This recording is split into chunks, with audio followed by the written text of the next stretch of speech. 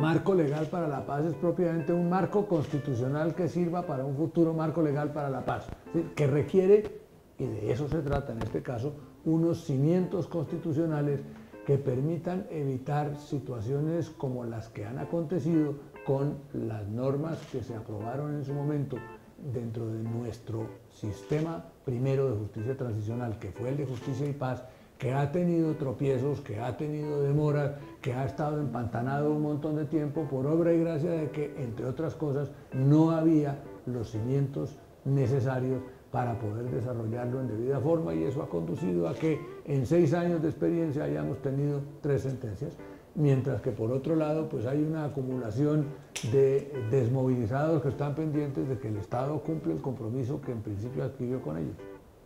¿Con quién el proceso de paz? Con quien corresponda que se adelante el proceso de paz. El ideal sería que se adelantara con todos los protagonistas del conflicto para que esa paz sea total y sea definitiva. Ese sería el ideal.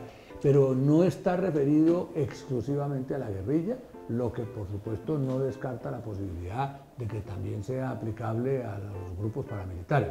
Por supuesto no a la justicia, a la delincuencia común, porque de ninguna manera puede uno pensar en que vaya a haber un proceso de paz con la delincuencia común. Con la delincuencia común no puede haber sino la aplicación estricta y a rajatabla de la ley. Lo que se ha planteado sobre el particular eh, que está incorporado al proyecto de reforma constitucional ha sido aprobado y va funcionando. Es simplemente agregarle un inciso al, al artículo 221 de la Constitución que establece a quienes y a qué tipo de delitos eh, se les aplica la justicia penal militar y por consiguiente son del ámbito del conocimiento de la justicia penal militar y cuáles son de la justicia ordinaria.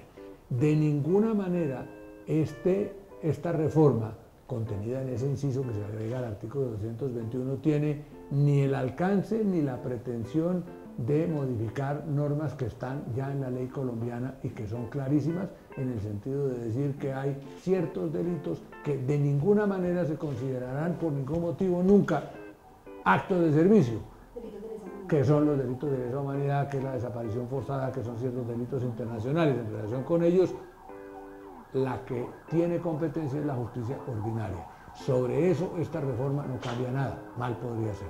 Él no se refiere específicamente a los militares como no se refiere específicamente a nadie. Se refiere a quienes vayan a ser parte de un proceso de paz el día de mañana. Ahora, por supuesto, es de suponer que el día en que eso ocurra, quienes hayan sido eh, los actores fundamentales de ese conflicto armado, de un lado y del otro lado, pues deberán ser parte del conjunto de disposiciones legales que se adopten para ponerle fin y para llegar a resolver nuestro sueño de verdad, justicia, reparación y búsqueda de fórmulas para evitar la repetición de esos acontecimientos. Entonces, desde ese punto de vista, por supuesto que podrían llegar a cobijar a los militares, pero que estén pretendidas específicamente para los militares no es cierto. Están pretendidas para un eventual futuro proceso de paz. Pero una vez que él llegue, para todos aquellos que vayan a ser parte del proceso de paz. Ahora, fíjese que también ha quedado demostrado aquí lo que ha quedado demostrado en otros países del mundo que se metieron en sistemas de justicia transicional. Y es que con enorme frecuencia en este tipo de conflictos y con estas experiencias, la reparación de las víctimas se debe dar en lo fundamental a través del conocimiento de la verdad. Olvido de ninguna manera. Verdad, justicia, reparación, eh, algunos niveles de perdón, por supuesto, pero porque las sociedades deben estar dispuestas a perdonar y con frecuencia perdonar. Olvidar, no las eh, diferencias de las preocupaciones no se refieren específicamente a un grupo de abogados, se refieren a todos aquellos que puedan haber estado o puedan estar o puedan aspirar a estar empeñados en ese tipo de procedimientos que no vamos a permitir, que no vamos a tolerar y a los que les vamos a caer encima con todo el peso de la ley. Eso no puede ocurrir.